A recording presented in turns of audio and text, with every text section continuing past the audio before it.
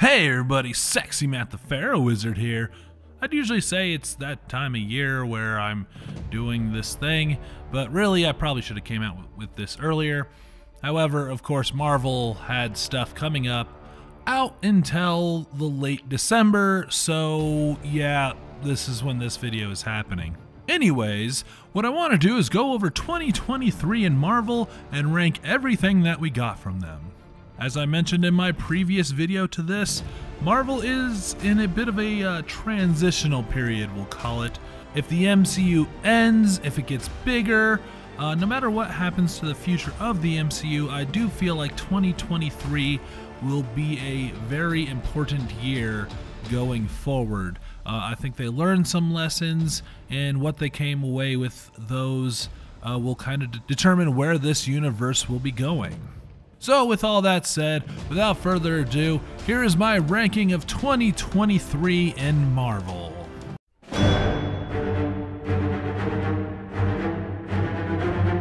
Number 6 Secret Invasion. So, I didn't hate this as much as everyone else.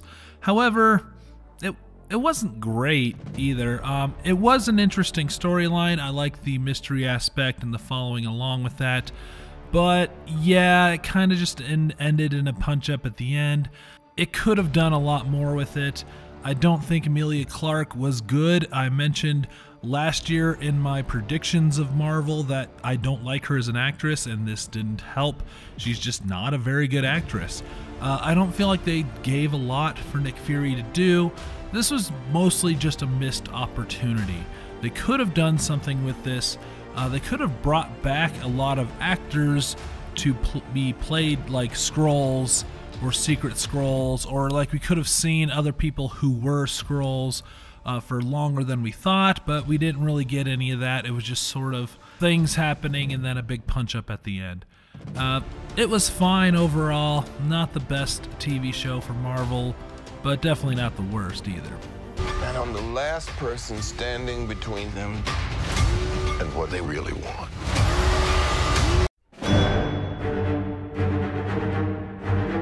Number 5 Ant-Man and the Wasp Quantumania. And for the movie that everyone seemed to have hated, Ant-Man and the Wasp Quantumania. I enjoyed this quite a lot. I thought it was a lot of fun. I actually really liked MODOK and what they did with MODOK. That was cool. Um, I liked seeing Kang in this. That was very cool and interesting.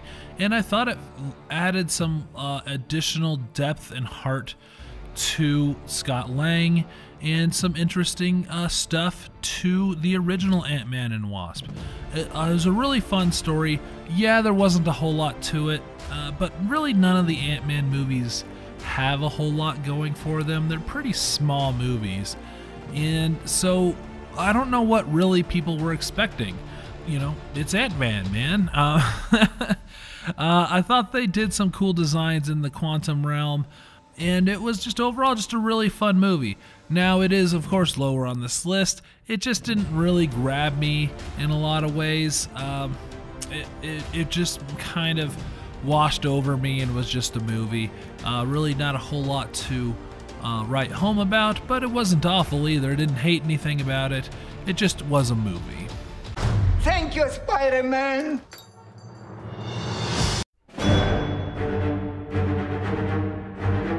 Number 4, What If? Season 2. So, the series that delayed this video coming out, uh, What If Season 2, um, released right around Christmas of 2023. This was good. I don't think it was an improvement on last year's. Uh, I do think they did some more interesting things, but it really felt like they got too wacky.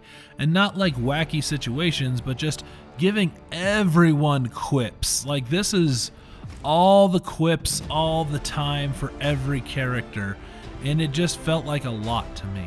And I also don't understand why Captain Carter is like the center of the multiverse for whatever reason. I don't know building something up to bring Hayley Atwell back in live action or something like that. I don't know. But I just don't get why she's this big old powerful being and why she can handle the Infinity Stones. She got the same serum that Captain America got, so I, I don't quite understand that. But overall, a really fun uh, second season. Uh, I like seeing the different things that they did with this and uh, you know some of the different characters. I really enjoyed uh, the '80s Avengers. I thought that was really cool to kind of see what if the Avengers had to assemble way earlier, what heroes were around at that point and who they would team up with and what that would be like.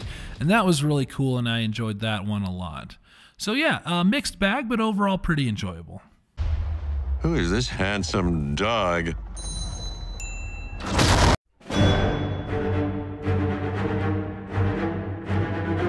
Number 3. Loki, Season 2.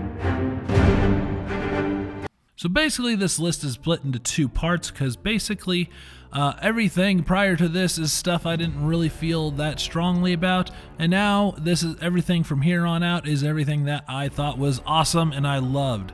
So Loki season two was a great uh, addition to Loki season one. I love Mobius, I love Loki, I loved OB. I thought that was really cool. Loki going through like a uh, Groundhog Day situation to learn everything he could about quantum physics was a lot of fun and uh, just how this ended was really weird and interesting and cool and i, I kind of liked where they're going with it. I think they're definitely using it to cover up some of the stuff uh, that, that, that happened with Kang, uh, the actor that happened, and maybe the fact that people didn't really gravitate towards Kang or care that much about Kang. Uh, so we'll see kind of where this develops and where this goes from here. Uh, there's lots of rumors that this is going to lead into Deadpool 3. That'd be really cool. Hopefully, we see that. But yeah, Loki season 2 was great. I really enjoyed it, and it was a lot of fun. That, that's what's been happening. Wow. Time slipping. Wait, times you know that? Yeah. You've seen that? Yeah. Can you fix that? No.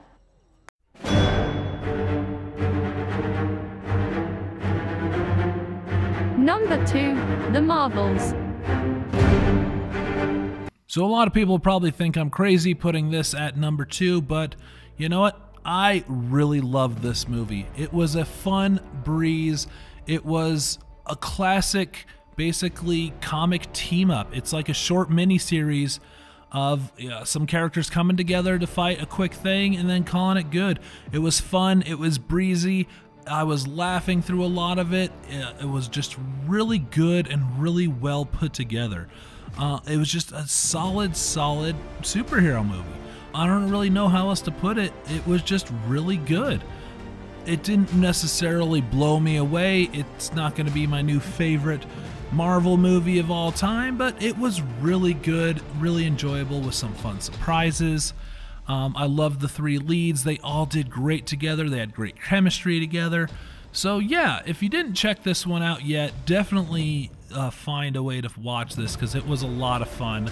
And uh, I even seen it twice. So, that's how much I liked it. So, yeah, good stuff. The Marvels.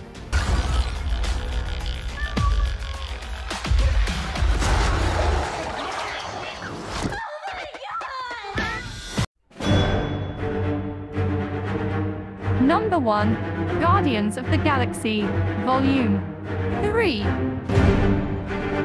I went into this year knowing that this was going to be my favorite movie of the year and favorite superhero movie of the year, and of course, now the favorite Marvel movie of the year.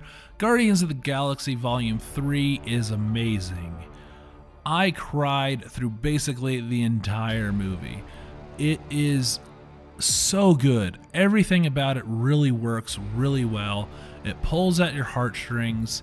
Uh, it has some levity, but also like it's the end of this team.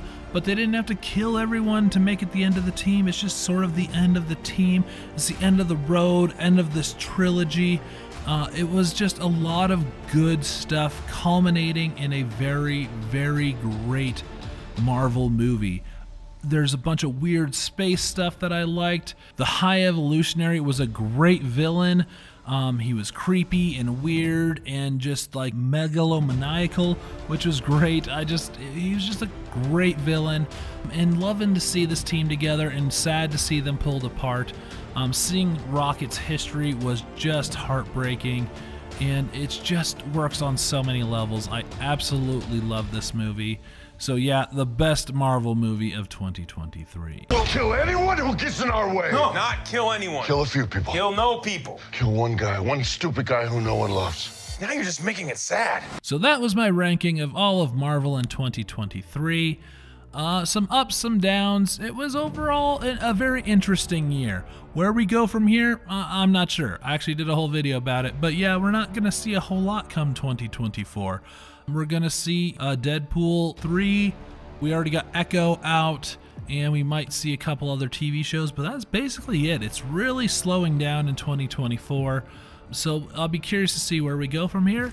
So yeah, if you like this video, check me out next year when I do this again for 2024. So I'm Sexy Matt the Pharaoh Wizard. Until next time, hold on to your hold sluts.